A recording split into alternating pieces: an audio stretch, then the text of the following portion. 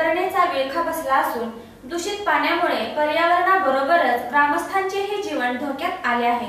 दक्षिण काशी म्हणून प्रसिद्ध तीर्थक्षेत्र असलेल्या संगम माहुली येथे वेण्णा नदीच्या दोन किलोमीटर नदीपात्रास विषारी जलपर्णी वनस्पतीने विळखा घातला असून पाण्याचे प्रदूषण व पर्यावरणास धोका निर्माण झाल्याने ग्रामस्थांचे जीवन धोकादायक बनले आहे. व जनावरांना पाणी पिण्याची ही मोठी अडचण निर्माण झाली आहे.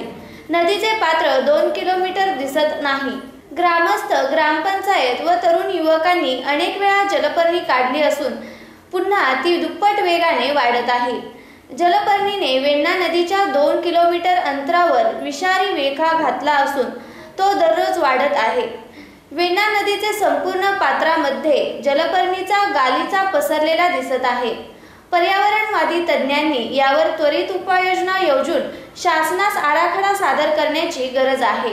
माननीय खासदार माननीय आमदार माननीय अध्यक्ष जिल्हा परिषद पंचायत समिती सदस्य जिल्हाधिकारी तहसीलदार मुख्य कार्यकारी अधिकारी जिल्हा परिषद संबंधित यंत्रणेने त्वरित उपाययोजना राबवावी असे आवाहन सरपंच उपसरपंच व सर्व सदस्यांनी केले आहे.